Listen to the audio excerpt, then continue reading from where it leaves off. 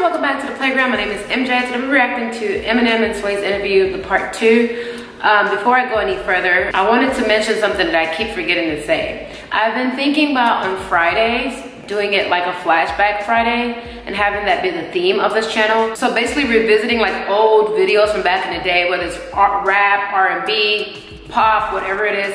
Like whatever your favorite videos are that are really like nostalgic vibes, I really would like to like go back and watch the video because I feel like a lot of us don't realize how different we saw it back then to how they are now. Thumbs up if you guys are with that, like if you even understand what I'm saying. But anyway, if you guys are ready to get this video started, give me a thumbs up and let's press play. Part two is about to be good. I already know. How do you describe your relationship with Joe Budden?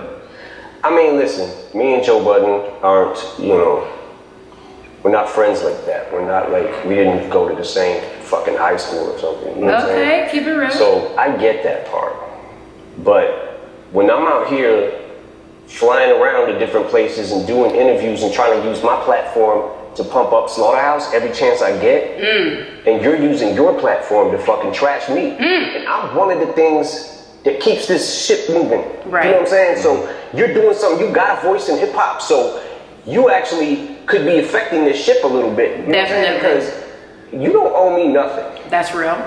But I've never gotten a fucking interview and been like, Joe Budden shit is fucking trash. That last yeah, like what is what is it about? I don't know Joe Budden beyond so like. Kind of, pump, pump, pump it up. Pump, pump, pump, pump, pump, pump, pump, pump it up. Like that is literally the only song. I, I know I'm sure he has other music, but that's the only song I know of him. Like, and I know that I, you know, I, heard, I read from one of you guys that Eminem uh, signed a group that he used to be on, but what is the beef? Like, why does he feel the need? I mean, beyond the fact that I feel like, again, he's also clout chasing, but I've never understood that. Like, why go out of your way to just like dog someone?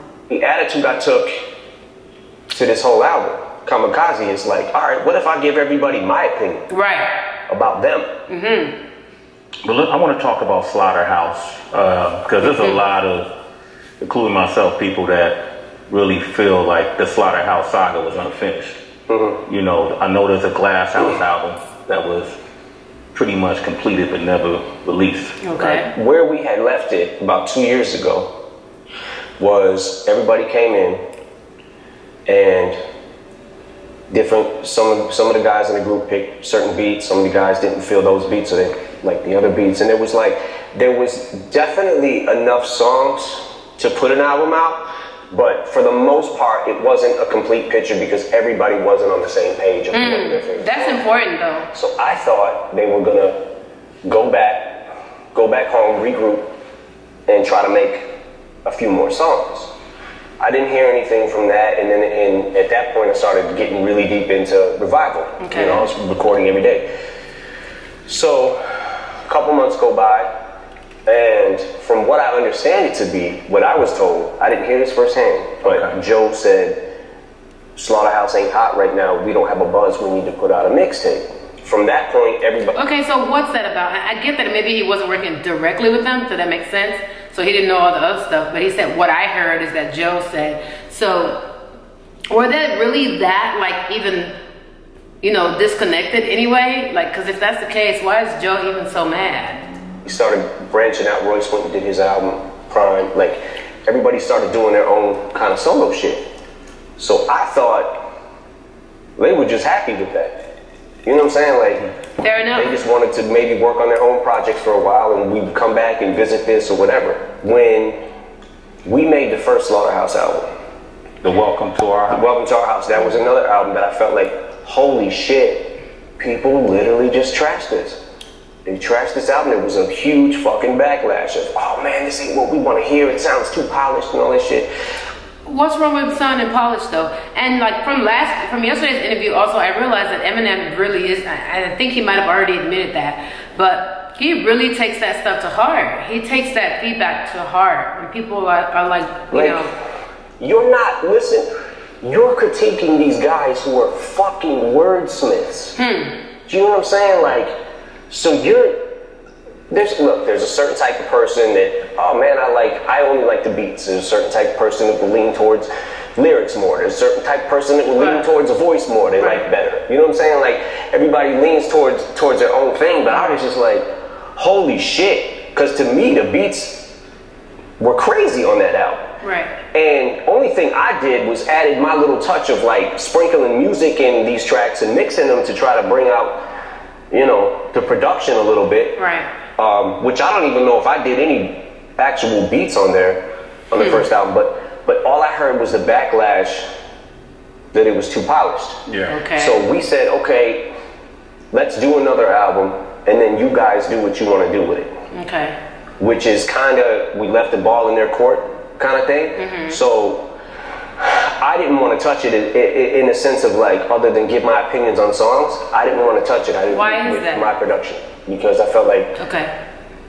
if if what if that is the reason Yeah. that they didn't sell albums? I don't want to hinder that. You know what I'm saying? So Oh. we gave him another He didn't want album. the responsibility. and next thing I know, I hear Joe talking about who got that money. Who who got what money?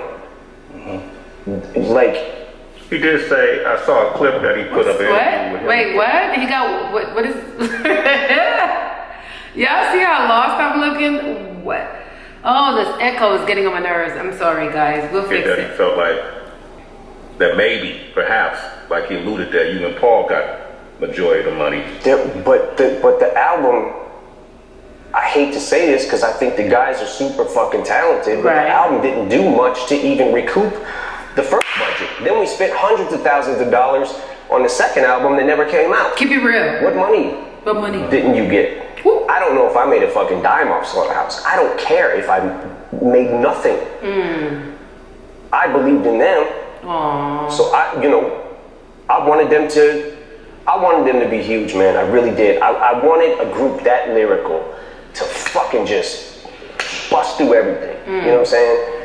And it definitely hurt my feelings a lot when the album didn't do good. The first album. It was just like, fuck, man. Like when when, when we got CeeLo on the hook of the uh, My Life song, I was like, yo, this is this might be out of here. What, what was the meaning behind the line when you said the last hit? You, I mean, I'm paraphrasing. The last hit you got was with your ex chick. That was what that was. What's that? That was a tap. Just a tap. It was a Wait, tap. what? Isn't it obvious, or is Sway just trying to be like, sh- like, is he trying to be shady? Because obviously, the last hit you got was your last chick. Was I mean, isn't that like a really no-brainer? Or is he trying to make him like dig deeper? It was also saying that, that his his uh, alleged domestic abuse uh, things or Exactly. whatever, which I'm not going to get into, but but I feel like I feel like the reason I had to do that is because, like I said, there's a there's a there's a fine line between saying, you know what, this guy's really been cool to me. Mm. He's helped me out Right. and tried to help out on many occasions. Mm-hmm. So I'm not gonna go in on untouchable like that. I'm gonna say it ain't for me. Not crazy about it. Whatever, Right. whatever. But to, to be the worst song you've ever heard in your life, Yeah, that's a bit much. have you listened to your own shit? Yeah, exactly. Do you not listen back? Because Yeah. if that's the worst fucking song you've Yeah. ever heard in your life, I don't know. But you can tell Eminem really has a sensitive side because I'm trying to think about it like this: like if I was M, if I had the talent that he had, and if I forget about records, forget about numbers, but if I was as talented as he was, and I had ears to hear myself, okay, I knew how great of a lyricist I was. I I could care less what a Joe Budden says anyway. Do you know what I mean? But you could tell that stuff really bothered him. But I, I, but I think it's the fact that he stretches. He stretched it. Look, can't talk today. He didn't have to say it was the worst song he's ever. Like I just again that that feels more like just below the belt. It didn't. I don't think it was even a real opinion. He was definitely stretching it. Uh, yes, uh, it's interesting. So we'll never see that Glass House album, probably, as far as you know. Look at Sway. He's I really don't trying to be. I, I- I don't have the answer to that. I uh, I I want to just make it clear though that aside from the Joe shit, I think that Slaughterhouse is one of the best rap groups ever to ever happen. right. Wow. But That's real. He still said it. Even aside that that takes this is what I keep telling you. You guys are missing how big this guy is. Like when I say big, I'm not talking about famous. I mean like I feel like he re- he's a he has a big character. Do you know what I mean? Like it takes it really takes a lot for someone to still be able to say that to give props because it doesn't seem like people know how to do that anymore. You know, if they don't like you, then you just trash, like he said on the first part. Let's continue though. and said I, I I wish their first album would have connected Yeah. To more people than it did. I don't I don't to this day I still don't me and Paul were like how, how, what the fuck happened? You know what I'm saying? Like but look man, everybody's not gonna like everything you put out. That's real. So That, that was a dream team of MCs, though, and I think a lot to what you're saying um, in regards to why aren't people reacting to these wordsmiths is that's how we came up. You know, honestly, what people may not realize is that's what really separated hip hop from R&B, rock That's and roll, real. and other genres True. was our ability to bend words to create patterns that made it unique to our genre specifically, which it seems like is something that doesn't get any credibility. Uh, uh, people don't put a whole, not everybody put a whole lot into that. Now. They don't give a lot of credence to that. Right. You know, which is probably um, Slaughterhouse could have been a victim of that. What is in Sway's pocket? this guy his pants all bumpy like that. um, that kind of ideology. Um, you also on this album, um, you went in on MGK. You guys had a discrepancy. Ooh, he mentioned it in his response song, uh, "Rap Devil." Mm-hmm. You know that. Let's call Sway and ask him why I can't get on Shade Four Five. Mm-hmm. That was in um, response. So I've seen him on the street once, and I didn't know he couldn't come up to Shade at that time. Uh, four five, and I said, "Man, come on up, man." And then I had to see him again and say, "Hey, man, I don't know what the shit is." Yeah. yeah. But until that gets cleared up, Yeah, you're not allowed. there's no way I can have you. Sorry. Yeah. What's the shit with that? What happened? Well, the shit is, just for the record, the the thing that was going on that he was saying about my daughter, I didn't even know about that until like literally like a year and a half later.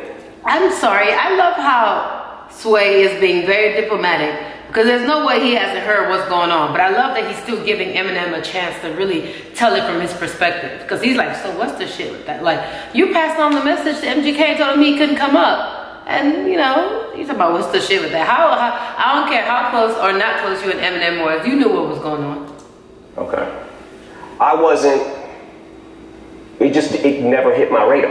Mm. And then one day, you know, you go down the fucking wormhole of YouTube and whatever, right? So I see Love how he said that. Machine Gun Kelly talks about Eminem's daughter, whatever, right? So what the fuck? Click on it. Yeah. Like, yo, why is he?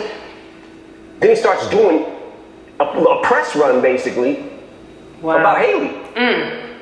I'm like, what the fuck? Yo, my man better Ooh. chill. Look, right? he's getting worked up even talking about it. That's deep. So that's not why I dissed him. The reason I dissed him is hmm. actually a lot more petty than that. Come on. Okay. The reason that I real. dissed him is because Look, look, Sway got closer, like, let's hear this. I'm saying, right? Okay, whew, all right. he got on.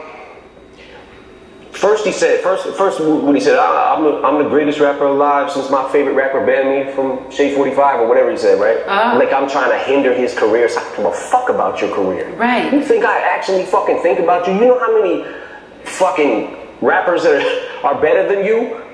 You're not even Ooh, in the fucking conversation. I don't care if you fucking blow or if you don't blow. Doesn't matter to me. stop! This is what I was saying. This is what I've been saying. A non-fucking factor to Eminem. That was never, like I said, the petty thing. Okay, I'm ready to, I'm sorry guys, I'm just, wow. But then when you get on Tech N9ne's album and you start sending shots, Mm-hmm. Yeah. and people start hitting me up, yo, Machine Gun dissed you, he just dissed you, he dissed you. Mm-hmm. I'm like, I listen to it, I'm like, did he really diss me though? Keep listening to it, y'all just rap, you're not gods. And then somebody sends me a screenshot of his Twitter, Mm. and it says, had some shit to get off my chest. You just rap, you not God. Some shit like that. And I was like, A reference to the Rap Gods song. yeah. Yeah. So I'm like, on the song he said, "Y'all just rap, you not gods," mm-hmm. and on Twitter he said, "You just rap, you not God." Mm-hmm. Had some shit to get off my chest. Okay. And I'm seeing, and by the way, this was on the heels of the freestyle. Look at look at y'all don't study body language, but I do. This is this is what I'm all into. Y'all look at his right leg. How that's changed from when they first start talking in the first interview. He's like on edge. He's like that's crazy. And look how Sway's leaned in on him. Like let's like we're about to listen to see what's really happening. I'm loving how he's giving the goods right now. about Shade 45. It's like, shut the fuck up. Shut the fuck up. Hmm. Now, now I'm in this fucking weird thing because I'm like, I gotta answer this motherfucker. Hmm. But why? And I guess that's what I'm trying to say. I don't want to cut him off, and I don't, I don't want to miss what he's going to say next, so I have to stop it. But why? So that was the thing. It was like, why did, what was Machine Gun Kelly wanting other than clout? Do you get what I'm saying? Why, why take it that far? Because you guys, like you said, it, a lot of people kept saying it was the daughter issue, and he's like, no, it was even, it was even pettier than that. So that's crazy that the daughter didn't got him upset, but that's not even what made him diss him. That's real. Okay, we're learning about human behavior, the things that make us tick, right? time I do that, it makes that person as, as irrelevant as people say I am, am Right. in hip hop. Yeah. I make them bigger by getting into this thing where I'm like, I mm. want to destroy him, Right.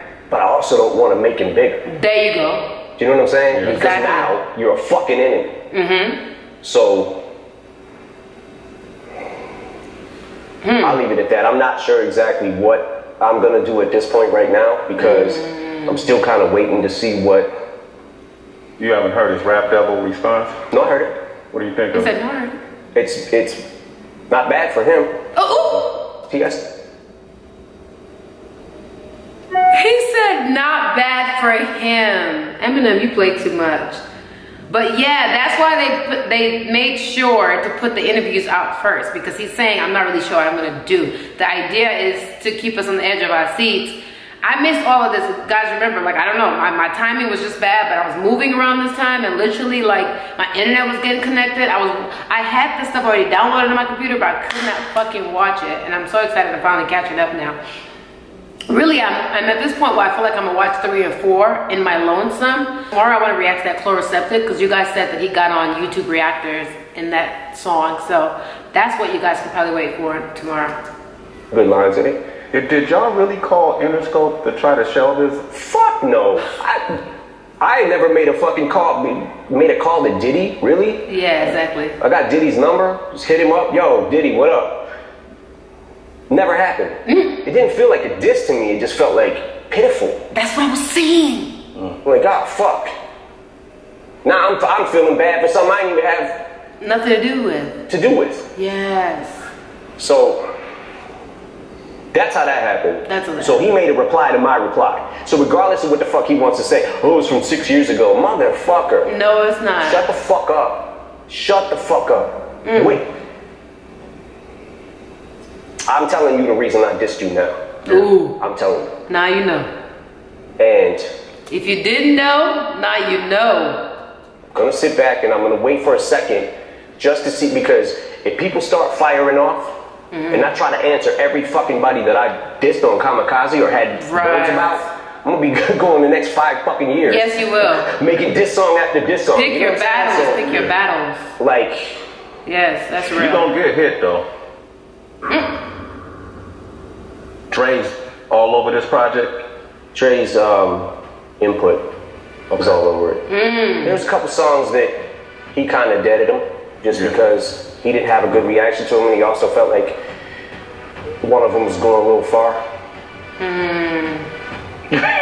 A song. What, Hey, what- man. what does that mean? Like, how far did it go? It's it it, it, it uh it went it definitely went Look at Sway. too far.